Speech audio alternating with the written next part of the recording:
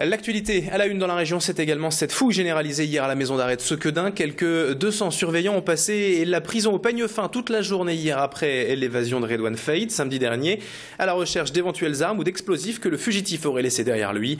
Les 800 détenus ont donc été fouillés au corps ainsi que l'ensemble des cellules et des parties communes de la prison pour arriver à un butin finalement bien maigre selon les syndicats. L'opération s'est terminée vers 18h30 et à l'arrivée quelques téléphones portables, des stupéfiants et des médicaments et quelques armes artisanales mais on est assez loin de ce qui était attendu. Les syndicats regrettent surtout que cette fouille généralisée n'ait pas eu lieu plus tôt. En tout cas, la fouille était attendue et c'était la condition obligatoire pour la réouverture des parloirs pour les surveillants. Des parloirs qui vont donc rouvrir dès ce matin, toujours selon les syndicats.